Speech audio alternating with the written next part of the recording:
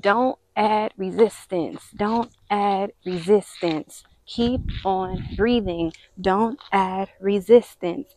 If you add resistance, you hurt yourself. And that goes with life too. You add resistance to how your life is flowing and the things that you're doing and how God decides to move you. You make it harder. Breathe into it. Breathe into it. Keep up, baby boy, and lose my breath. Bend the bones. Yeah, breathe into it. And don't believe a lie, you understand me. Walking down the valley, pack a piece of heaven for the bottoms of her feet. Nothing too Teach you how crazy. Just a little hike stretch when she and a little stretching today. I don't have headphones or anything like that, which is cool. At first, I was a little bummed out. I'm like, damn, I don't have headphones. I don't have music. I'm by myself. But honestly, this is good because whatever comes up in your subconscious, whatever comes up into your mental space when you're not distracting yourself, that's actually what you need to bring awareness to. I'm out of breath, clearly. This hike is not a joke. We distract ourselves every day, all day. Stretching is therapeutic. This is how you can stretch when you don't have anything like a mat or anything like that. You can use a wall, a brick, a freaking boulder, a rock, or you can just stand here and stretch. When you are stretching, though, use your breath. So you inhale to actually like set yourself up. Inhale. And then you exhale to stretch into wherever you're going. Why? Because when you connect your breath to your movement, then you go deeper and you go into a meditative state.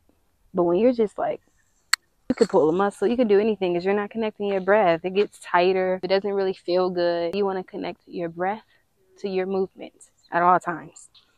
That's really important. Inhale, exhale. That's it. That's all. It ain't that serious. Y'all take stretching seriously sometimes, and I'm just like, I'm just stretching. The only reason why I'm as flexible as I am is because I keep doing it. That's it. I was not born flexible. This is not something that I just been with all of my life. It's just because I keep stretching. And when you keep doing something, you just naturally get better. You get deeper. It gets easier. It gets not necessarily easier. It gets more, you just understand it better. Okay, let's keep walking. When I first moved here, I used to hike all the time by myself every morning at like 6 a.m. Why? Because the internet told me to. we are so influenced these days, so influenced. We don't even realize why we're doing certain stuff. We just do it. Some of those things we actually need to do anyway. But make sure you know your why. Know your why. But it feel good. What time I gotta be to work? That's the real question. Y'all know I'm an assistant manager. It's hard. I'm working 40 hours a week, teaching private sessions, and a full-time yoga instructor. Don't waste my time. Okay, let's do some more stretching. Why else do you stretch, Curr'esha? Well, you feel that um, muscles start to release, you start to release. You can actually feel the decompressing happening too. Inhale, exhale, and you just stay there and breathe. Don't add resistance. Don't add resistance. Keep on breathing. Don't add resistance. If you add resistance, you hurt yourself. And that goes with life too. You add resistance to how your life is flowing and the things that you're doing and how God decides to move you. You make it harder. Don't add resistance. Breathe into it. Breathe into it. Keep up, baby boy, and lose my breath. Bend the bones. Yeah, breathe into it. Can we also talk about the fact that I am a young lady from Detroit, Michigan, on the west side of Seven Mile, and I live in LA. And for my downtime, I decide to go hiking and go on a stretch walk. Not a stretch walk. I decide to go hiking and stretch and walk. That's crazy. That's wild. That's God. I ain't the only one. It's other other black women too. Yes, the tripod. It's easy. I told y'all, black people always support you. One of my favorite stretches is the straddle. I love the straddle. Legs out, toes in, heels out, arms out. Inhale. Exhale, lead with your chest flat, back going down. See how I am still looking up. I do it from the side. Lead with your chest and going down. Flat. Lead chest forward. Toes. Weight is in your toes. Weight is in your toes. Ankles. Chest is going to the back, not to the floor. Nose is to the floor, not to the back. You want to be able to fold completely. Oh, you can go around. It's okay. I'll cut it or not. Okay. You're like, thank you. um, a little bit. I'm a yoga instructor. Yeah, and starting to get into the habit of posting on YouTube more. Yeah. Thank you. Thank y'all so much. I love black people. You're going to feel the stretch in your hamstrings first, and that's good. You still want to keep leading forward. Ankles, keep leading forward. Elbows are going to bend. This is going to keep you from curling over. If your elbows come out, instead, you want to bend and flatten. It's an active stretch. It's active. You can't just fold and like let loose and let it all go. Because if you do that, then you're going to start to curl and hunch in your back. You can reach up and press, press your hips back. You can do that because the idea is that you come forward anyway. So inhale and then exhale. You can fold with your hands here. Oh, don't hit me. Or you can put your hands at your thighs. But whatever you do, just keep leading forward. Forward. Nose. Gaze. Chest. Everything goes forward. Legs out longer. See how if you start to curl, lift up, bend, fold, bend, fold. Come out further, get more in your hips. Hips, hips, hips. The wider you are, the more you focus on your hips. Bend, bend, bend, nose to the floor. Not curling down. You don't see me doing that.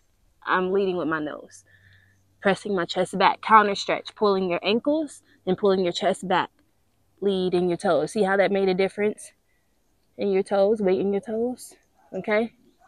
That's where you want to be. Whew. Good job. Try it. Make sure before you deep stretch, you work out. Like you do some little jump jacks or something. I don't know. These or something. But go for a run or a hike or a walk, anything. Warm up your body before you start stretching and crazy stuff because you could pull a muscle, especially if you don't stretch normally. You can pull something. So warm up the body first. You ain't got to be sweating bullets, but you need to be warm. All right, last stretch. This is a stretch that's not only going to increase your hamstring flexibility, but it's also going to make you very strong. Okay, this is a halfway lift, hold, whatever you want to call it. You go into a reach forward fold. I mean, half lift. You go all the way half. This isn't half. You see how my L is still like slanted? You're going to come lower like that. Nice. And then you reach your arms forward. You bend your knees slightly. You look down.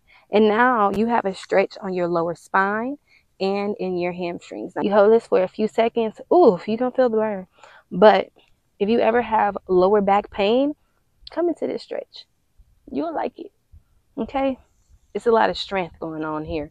Your core is holding you up, and then you come up like so. We think about these stretches. This feel real good because you got the whole side body bend. Like you got that whole always to your toe. You got to stretch through your toe too. Don't have stretch. You know how people be like, don't have ass. Don't have stretch. Stretch through your toes and your fingertips. Like really reach. Even float it if you need to. Float, reach. You know, really stretch your body. Get into your body. Okay. You can go around. You don't have to walk on the corner. Sure? Yeah, I'm positive. Don't do that.